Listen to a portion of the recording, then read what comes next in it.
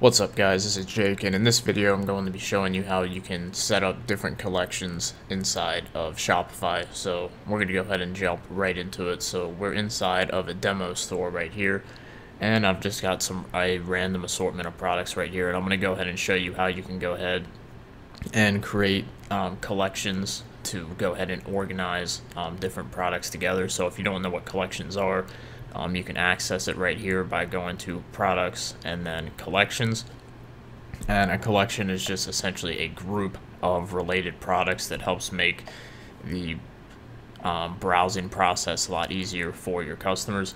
So I'm going to go ahead and create three different collections in this video and I'm going to use three different methods of creating these collections. That way uh, you guys will learn how you can create a collection in each different manner. So first off, we're going to go ahead and get started. So I'm going to be creating a collection for gaming. So these two products right here. And I'm going to be creating a collection for phone accessories. So this one right here and this one right here. And then I'm going to be creating a collection for gym stuff. So these two right here. And then lastly, I'm going to be showing you how you can showcase these collections on the home page inside your theme editor. So the first thing that you're going to want to do is just make sure you know which products want you want to go ahead and group together into a collection. And once you've done that, we can go ahead and go over here to products and collections and get started. So once we're in here, most of the time you're going to have a default homepage collection, but we're going to go ahead and create a new one. So we're going to go up here to create collection. And once this loads in, we can see that we have a few options available right here. So the first one I'm going to go ahead and create is the gaming collection. So I'm going to just go ahead and put gaming right there. And then here we can go ahead and put a description if you want. However, you don't really have to put a description. We can just put a title. And we can put a collection image here as well. So if you have an image, if let's say you're trying to make a page for that collection alone and you want an image on top of that page as like a banner or something, this is where you could put it. But for this tutorial, I'm not going to do that. I'm going to just show you how to set up the basic collections. So down here, we can see that we have to select collection type. So there's a couple different options we can do to set up the collection type.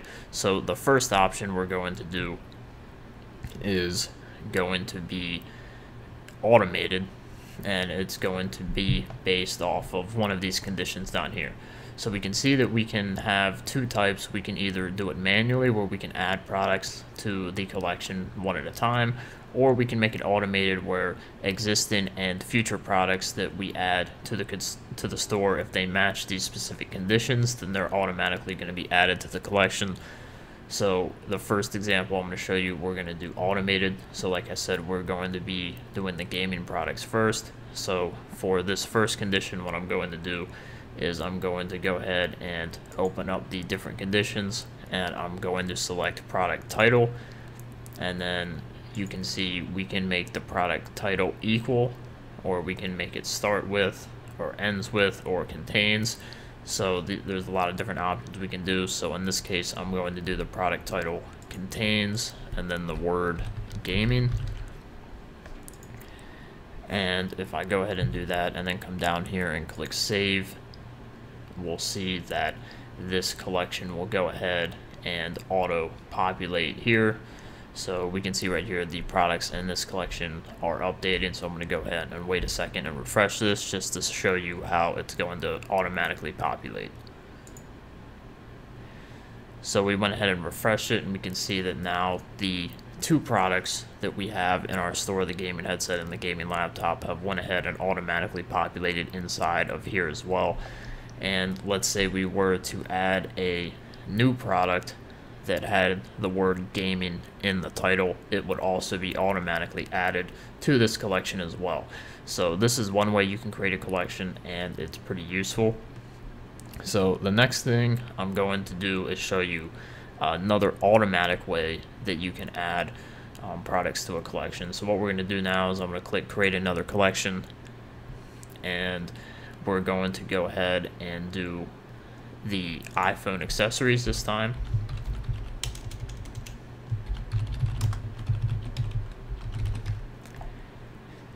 And in this case I'm going to do product tag is equal to and for this to go ahead and work we're going to have to create product tags on these specific products that we want.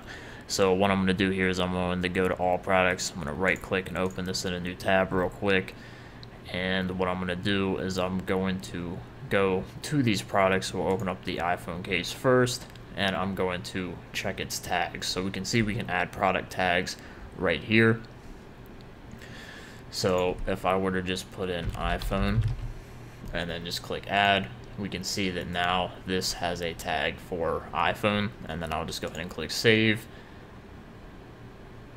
And I'm to go ahead and go back to products. And now I'm going to go down to the shatterproof screen cover. And I'm going to give it the same tag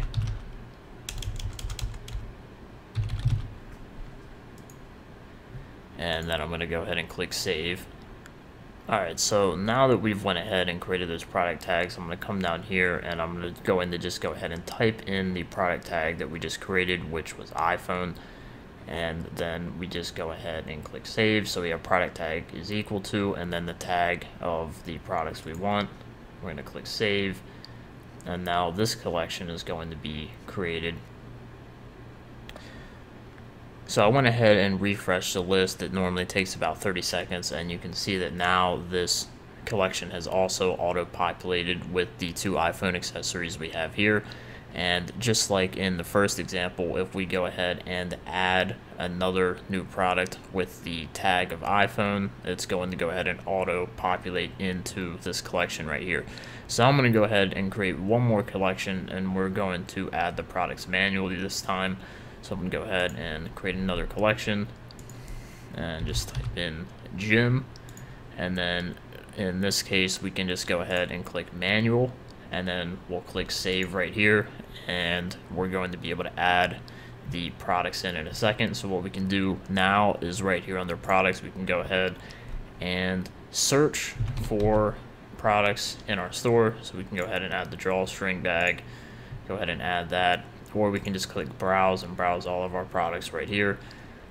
And I'll go ahead and add this other product to it as well.